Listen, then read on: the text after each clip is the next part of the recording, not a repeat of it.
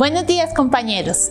Hoy les voy a recordar qué debemos hacer en el momento de que se presente un incidente dentro de las instalaciones de Confacundi. Debemos primero mantener la calma. Segundo, estar atentos. Tercero, seguir instrucciones. Cuarto, si llega a sonar la alarma una sola vez, vamos a estar tranquilos y atentos eh, si suena la alarma por segunda vez y es de forma continua, debemos esperar las indicaciones de los brigadistas para la evacuación. Durante la evacuación vamos a utilizar únicamente las escaleras.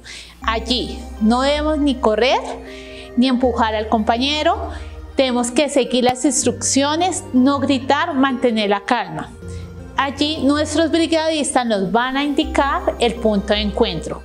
Allí realizaremos la revisión y el conteo de, los, de las personas que han salido al punto.